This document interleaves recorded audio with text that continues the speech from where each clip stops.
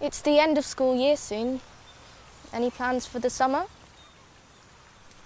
I'm not going to do anything for a week. I'm really tired. Yeah, tell me about it. What are you going to do, Max? Well, I've got that big audition at the National Youth Theatre in London. Oh, yeah, yes. of course. How are you going to get there? Believe it or not, Dad's going to take me. Your dad. But he hates driving in London. I know, but we're gonna leave really early, just to be safe. What about you, Eva?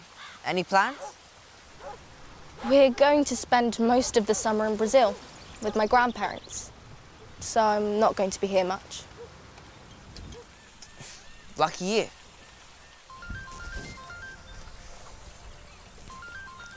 That's my mum. It's time to go.